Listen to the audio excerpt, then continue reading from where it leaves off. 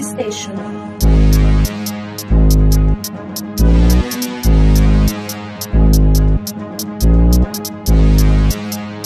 What about second breakfast?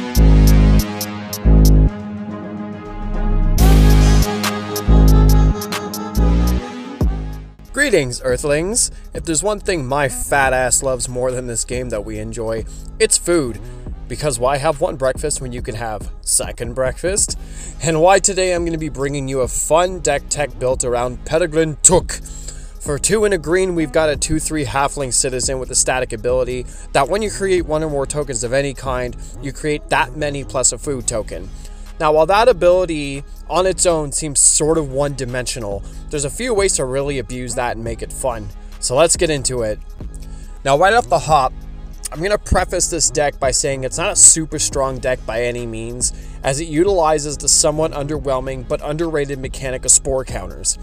Now, for those who don't know, spore counters were a mechanic introduced way back in Fallen Empires with cards like Thorn Thallid, but were revisited in other sets with cards like Vitaspore Thallid, Spore Sower Thallid, and Thallid Germinator. It, it's a it's it's, it's Thallids. It's Thallids. That's all it is. but the thing that makes the mechanics somewhat underpowered in the commander format is that they're mainly put on at the beginning of your upkeep, which in a four-player format that can take a while. But for that reason, this deck is filled to the brim with proliferate effects with cards like Cankerbloom, Evolution Sage, Karn's Bastion, and Throne of Geth to crank those spore counters and be able to utilize their abilities, which is where Peregrin synergizes. Now, cards like the aforementioned Thallid Germinator, the original Thallid, and Thallid Shell Dweller let you remove your spore counters to dump out Saproling tokens, which then nets you a food per generated token. And this deck is mostly a budget build, but I did include Doubling Season because I had it laying around and unsure of a deck to use it for. But don't let that dissuade you. Cards like Clock of Omens and Trading Post can make use of those food artifacts to be able to do some extra fun stuff. Keep in mind, food tokens are artifacts.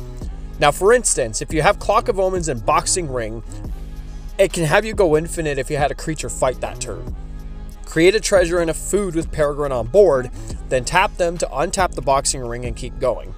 You've got to jump through some hoops to make it happen, but if you can pull it off, use those infinite artifacts to abuse Throne of Geth and infinitely proliferate your spore counters. Then you can either make an infinite number of saprolings to abuse, or you can deplete any amount of counters from a card like Thorn Thallid to take out your competition. Now, a Gilded Goose of this deck, I would say, is Champion of Lambholt. With the amount of saprolings this deck can generate and the amount of proliferating that can happen, she can get massive in a hurry and let your weenie sneak by unnoticed. There should be a joke there about a weenie sneaking by unnoticed, but I'll leave it at that. There's also cards like Plaguemaw Beast that can use your tokens as fodder to bump up your board more. Rishkar Peema Renegade to utilize your Thallids as mana dorks, and Fangren Marauder that can make your life total all levels of insane whenever you eat food which, like, relatable. I feel great when I eat food.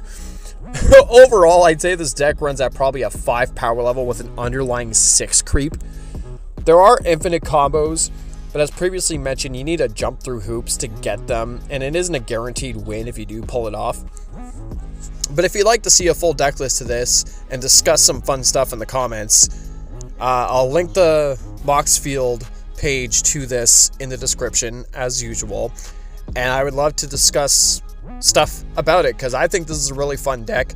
Uh, these little uncommon legendaries, you can build really niche strategies around, so they're really fun. Uh, but yeah, until next time.